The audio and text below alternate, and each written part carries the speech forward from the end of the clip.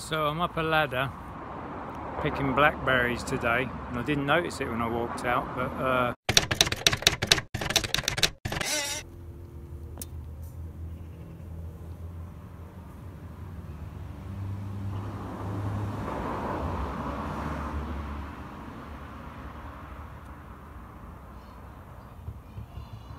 just spoken to my mum and she said she heard a lot of noise from uh, magpies calling, squawking this morning. Anyway, so I put the ladder up and I walked back through the garden the other way and uh, check this out. So I walked up the garden this way through what we call the pond because it fills up with water when it rains. Put the ladder up here, turn around and look the other way Look at this lot. There's our bird feeder.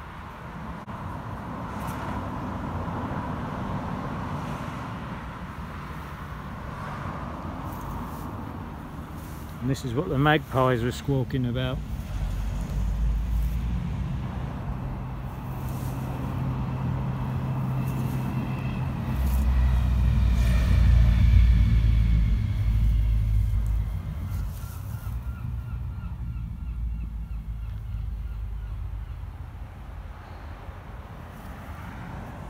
So I don't know if that was cat or fox or uh, big cat.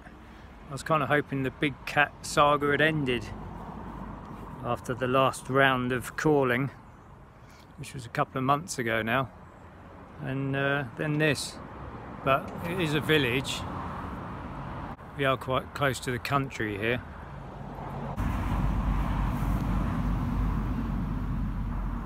I would say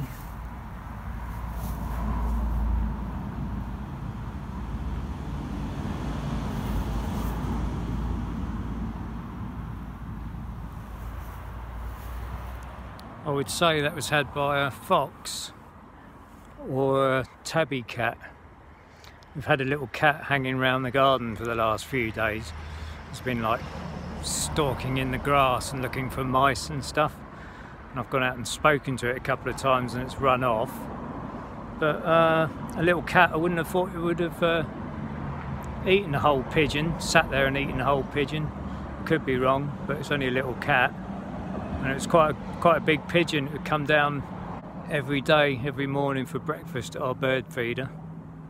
So I don't suppose we'll see him in, be seeing him anymore. But the cat could have, uh, or the fox could have carried off the carcass somewhere else, stored it for um, later food supplies or something. Anyway, not what I expected to see, and poor old mum's going to clean it up now. Well, I pick blackberries. Right guys, stay safe, keep your eyes open, especially in Sussex apparently, because the, uh, the wildlife are a bit feisty around here. Right.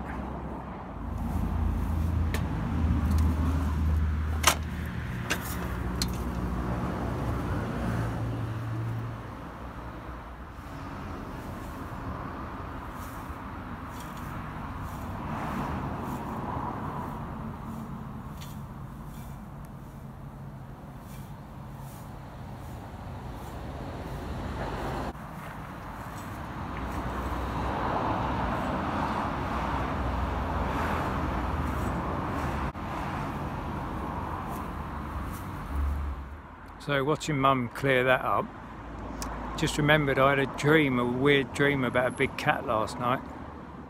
It looks like it's fox because all the pigeon has been eaten and plucked and that's typical fox. Uh, or that's typical big cat. I don't think a little tabby cat would have eaten the whole pigeon, plucked it and eaten the whole pigeon, or it could have run off with the carcass. But anyway, most likely I would say fox or big cat. Mum said she found uh, bits of the pigeon all over the garden, wings and feathers everywhere. So uh, looks more like fox behaviour to me. But I did have a weird dream about a big cat last night, so I have to keep an open mind on it. Mum said she heard magpies calling, squawking this morning. So that's probably when it was. Oh well. We never named the pigeon, he didn't mean that much to us, but we still like to look after our friends around here. So a domestic cat, a tabby cat, that's being fed regularly at home, I don't think they would sit down and eat a whole pigeon. Uh, a big one might, but this one was quite a small one. So, to be honest, I don't think it was a cat. I think it's either fox or um, fox or big cat, possibly. But you know the the possibly deal, don't you? Possibly not as well.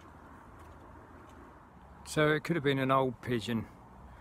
I saw one up in that tree yesterday that looked distressed and uh, I thought it was because of the hot weather we're having in September.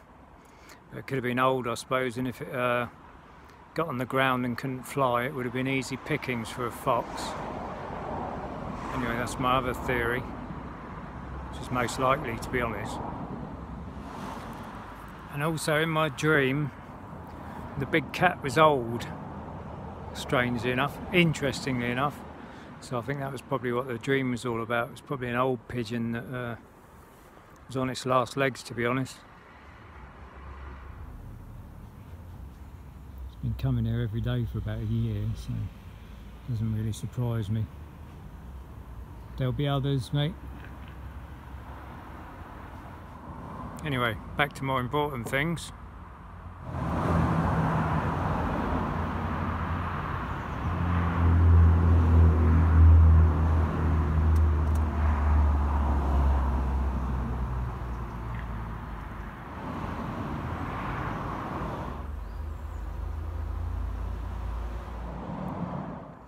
That's my little video. Thanks very much for watching.